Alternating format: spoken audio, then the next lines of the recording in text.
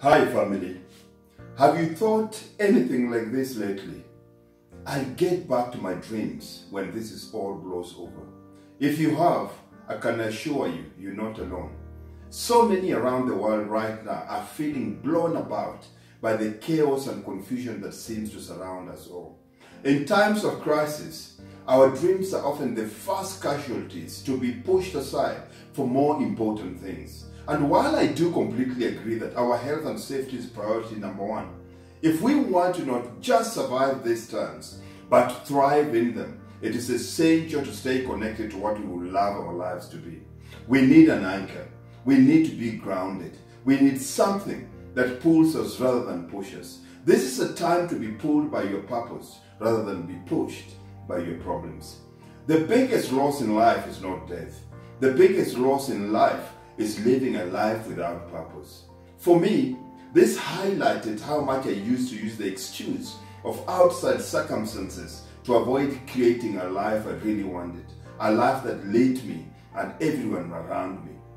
Circumstances don't make a man. Circumstances just reveal a man to himself. I invite you to consider this family. It's never frivolous or selfish to pursue your dreams, no matter what challenge you're experiencing. Why? I can hear you ask. Because your dreams don't need to be grand.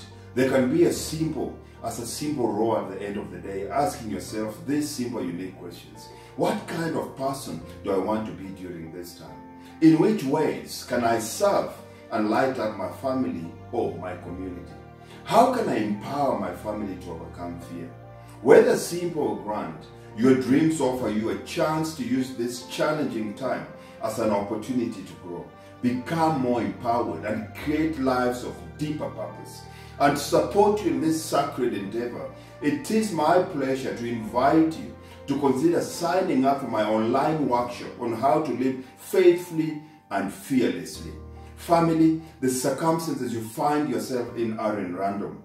These are the circumstances that are making it possible to listen to your higher self calling you towards the glorious life you're meant to live. Because your outside world at this point is a sinking sand. So please, don't spend another day ignoring it or trying to make it go away. We're not guaranteed our futures. So I urge you to stop betting on someday to bring you happiness and instead Start creating the life you want to live right now by joining us in this free workshop. I promise you, you'll be glad you did to your golden opportunities. And remember, this is our social responsibility projects. No exchange of money happens between me and you.